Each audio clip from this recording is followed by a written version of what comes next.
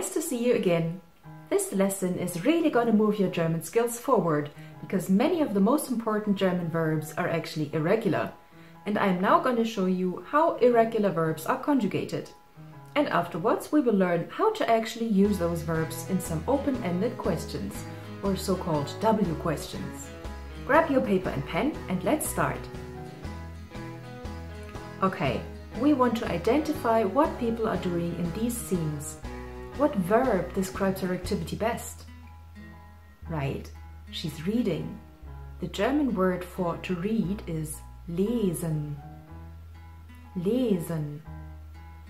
We will learn how to conjugate that in a minute. What is this person doing? She's sleeping. In German, schlafen. Schlafen. Which verb describes her activity? Right, to see or to watch. On German, sehen. Sehen. You do not pronounce the H, do you notice? Sehen. And what's she doing now? She's driving. To drive in German is fahren. Fahren. In total, I have seven new words for you today, all of which are irregular. So these are sehen, lesen, schlafen, fahren, and also geben, nehmen und wissen. All really important verbs, aren't they? Okay, so now let's learn how to actually conjugate them you are already acquainted with the personal pronouns on the left side. You see the infinitive of each verb here on the right and the conjugations right underneath them. So let's recap what actually differentiates a regular verb from an irregular verb. Regular verbs are verbs that do not change their verb stem throughout their conjugated forms. So after eliminating en from the infinitive, the stem receives the endings for the first, second and third person singular and plural. And that's it for regular verbs. Now, irregular verbs are verbs whose stems actually do change during conjugation. However, usually not for all forms. Let's look at them in detail. Sehen, to see or to watch, has the verb stem seh, but you can see that the stem changes to sieh for the second and third person singular. So, ich sehe, du siehst, er, sie, es sieht, wir sehen, ihr seht, sie sehen. So the irregularity is in the stem of the du and er, sie, es forms. Next one, lesen, to read. Same picture here. Ich lese, du liest. The change to IE here. Er sie es liest, wir lesen, ihr lest, sie lesen. Fahren, to drive. Ich fahre, du fährst, er fährt. Here we have a change from A to the umlaut Ä. Wir fahren, ihr fahrt, sie fahren. Plural forms are always regular here. Geben, to give. Ich gebe, du gibst, er gibt, wir geben, ihr gebt, sie geben. Geb changes to gib here in the verb stem. Nehmen, to take. Ich nehme, du nimmst. Er, sie, es nimmt. Wir nehmen, ihr nehmt, sie nehmen. Nehmen changes to nimm here in singular. And lastly, wissen, to know. Ich weiß, Du weißt, er weiß, This is totally irregular here, even in the conjugation endings.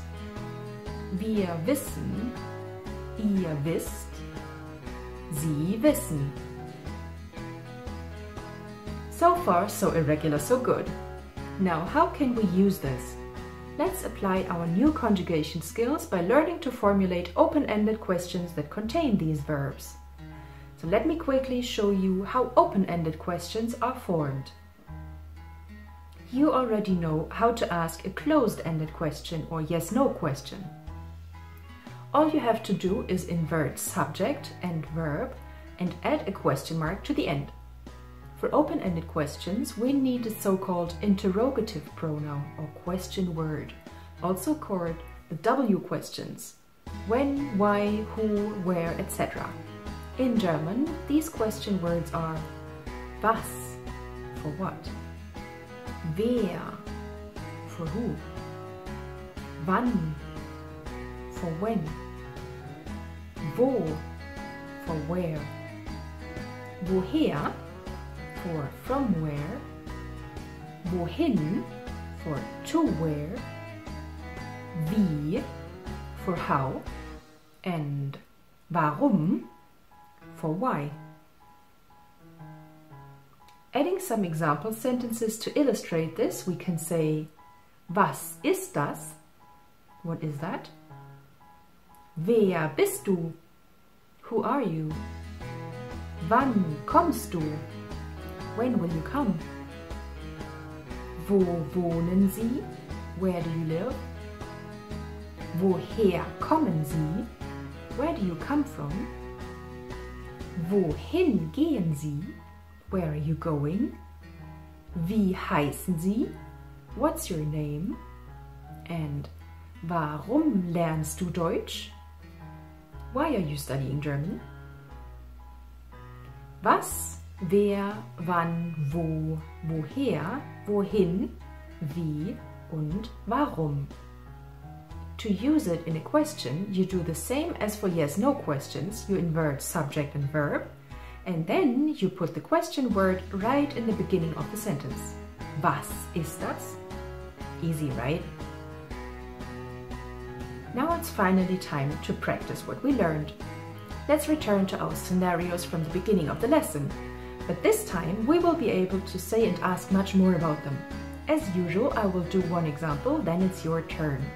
Pause the video whenever you need some more time to think. Wer ist das? Das ist Mona. Was macht sie? Sie liest. Was liest sie? Sie liest ein Buch. Wo liest sie ein Buch? Zu Hause. Now you. Wer ist das? Das ist Tina. Wo ist Tina? Sie ist zu Hause im Schlafzimmer. Was macht Tina? Sie schläft. Warum schläft sie? Sie ist müde.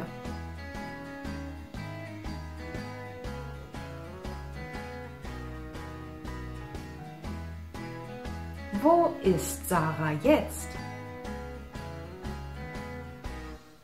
Sie ist jetzt in der Stadt. Was macht sie? Sie fährt Auto. Wohin fährt sie? Sie fährt in den Supermarkt. Good job, everybody. Would you like to know how you can describe people and their personality to someone? Then make sure to watch our next lesson also. I'll see you there.